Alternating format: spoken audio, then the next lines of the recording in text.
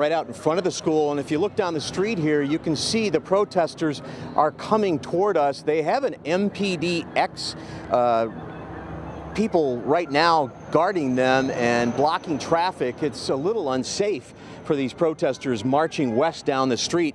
The student protesters say they're concerned about lead contamination in the water here at North Division High School. MPS was quick to respond saying the water is safe and the protesters' claims are false. However, the student protesters want more testing and are questioning the special filtered water fountain in the teacher-only section of the building.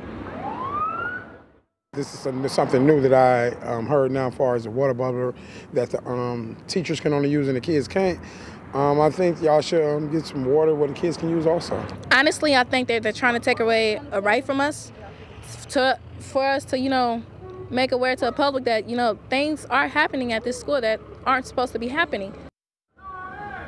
And we're back live, and here's a picture MPS sent us of the bottled water cooling station in the professional development area. They say it's not part of the school, but has the same water supply as the high school. And here come the protesters right past us. MPS says all the water is safe at the school. The Milwaukee Nutrition and Lead Task Force is also out here handing out bottled water and supporting the student protest. Now, there's an ongoing concern about lead poisoning, poisoning in all of the old pipes in the city of Milwaukee.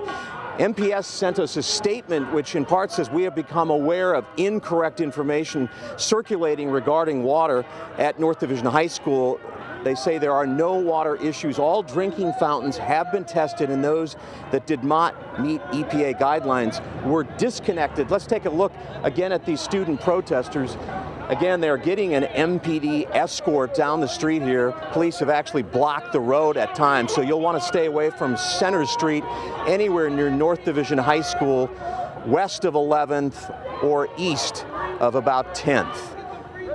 We'll have more on this story coming up on 12 News at 6. Live in Milwaukee, Terry Sater, WISN 12 News.